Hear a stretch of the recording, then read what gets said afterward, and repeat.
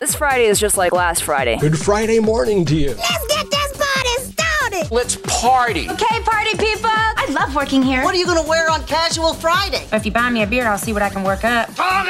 Take a beer and two olives to stuff in my ears. You know what? I shouldn't have had that eighth beer. Today's radio show is sponsored by alcohol. Showtime. Hi, everybody, and welcome to NSS.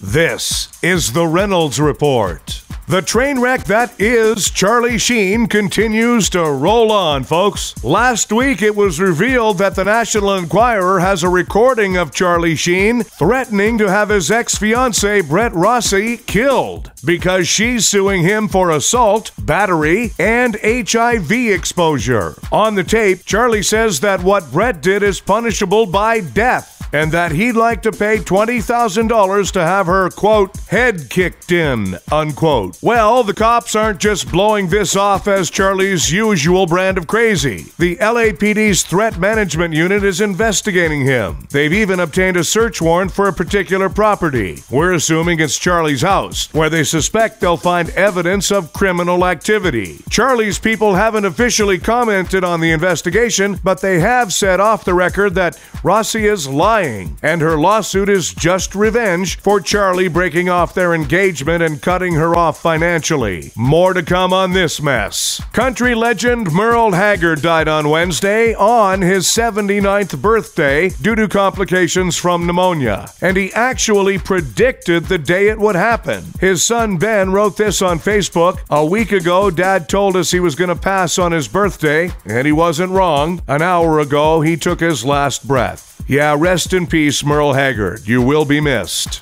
Jimmy Kimmel Live will be taken over by Marvel Studios next week with the stars of Captain America Civil War stopping by. And Benedict Cumberbatch will be stopping by to unveil the first Doctor Strange trailer. Well, a sure sign of spring is the Masters tournament. Yeah, it's underway, and it's going to be even more extreme than ever this year. Here's a taste of what you can expect. This weekend, experience one of the most intense sporting events of the year. Of course, you can see there just the quality of the turf management here. So dense, thick, and cut so short. Live from Augusta, Georgia, it's the Masters. Hoffman's just tapped in for his par. Three wood here. Every swing, every putt, every walk down the fairway. Don't miss a second of the heart-stopping action. Definitely uh, would have preferred to leave it on the other side of the hole there. The Masters on CBS. It's as exciting as waiting in line at the post office, only with a green jacket. Don't miss it.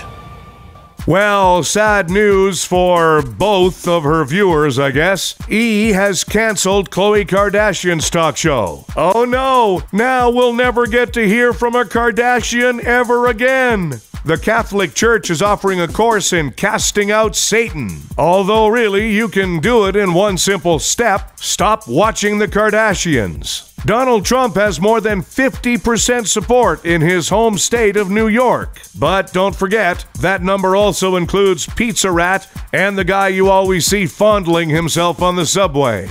Janet Jackson has delayed her upcoming concert tour because she and her husband are planning a family. Well, that, and the fact that it's no longer 1986. Have you seen that video of a Starbucks customer verbally assaulting Florida Governor Rick Scott when he went into a Gainesville Starbucks, accusing him of not caring about the working class? The governor tried to ignore her, sipped his latte, and then quickly made his way to his personal helicopter. Yeah, the world's biggest Starbucks is coming to Manhattan. It will feature 600 chairs, 400 tables, and 9,000 wannabe screenwriters. Scientists have created a new simulator that allows users to experience death. Or you can just move to Kentucky. Your call.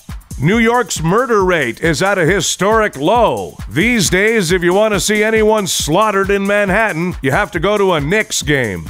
The American Idol finale was last night. The list of past winners is a who's who of singers. Literally, you're like, who and who? Time for Nobody Gives a F- Sarah Palin and Azealia Banks are feuding, and somehow their fight is actually sadder than the one between Batman and Superman. Hey, idiot and idiot. Nobody gives a f.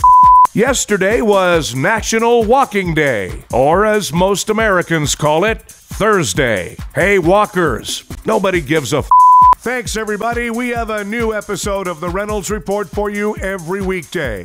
The Jewel Radio Network is proud to present Frank D'Angelo and his 15 piece band Spring Concert Tour. Friday, April 15th at Aeolian Concert Hall, London. Saturday, April 16th at Seneca Queen Theatre, Niagara Falls. Saturday, May 21st at Algonquin Theatre, Huntsville. And Friday, May 27th at the Capitol Theatre, Moncton.